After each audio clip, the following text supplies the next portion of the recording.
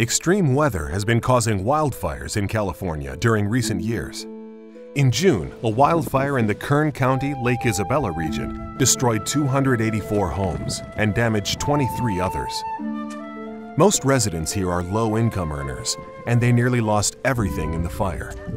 For disaster aid recipient Tina Parma, whose two kids faced the fire alone, this is a nightmare she wants to forget. So he called 911 and asked what he should do for him and his brother, and they told him to get out of the house. So they went out to the street and stopped a car, and someone gave them a ride to the 178. And another family picked my kids up and took them to safety until we could get home to them. Pam Hunt, another aid recipient, still feels scared when she talks about the fire. It was the most terrible day of my life. I never want to ever relive it again. We only had seven minutes to evacuate. We just grabbed our pets and grabbed some medicine, just a few things, and we and I- just I know somebody ran. The fire just That's came what- so fast. There was no time to get much together and just leave.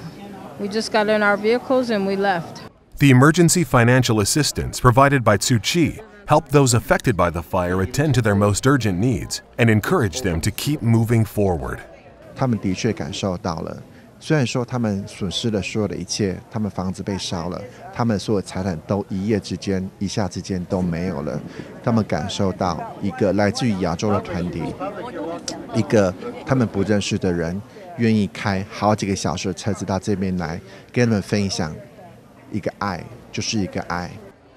During the distribution, a 97 year old retired Navy officer who had visited Taiwan several times in the past expressed his gratitude to Tzu Chi.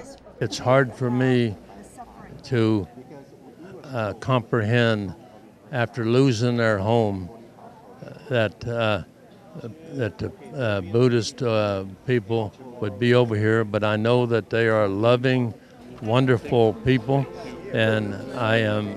It's a pleasure for me to meet uh, you wonderful folks, and uh, and it's just uh, the wonderful work that you're doing. Depending on the extent of damage to their home, Tzu Chi gave between three and five hundred dollars to each family impacted by the fire. Beyond offering financial relief, volunteers also planted the seed of love in everyone's heart, hoping that it will spread and reach others in need in the future.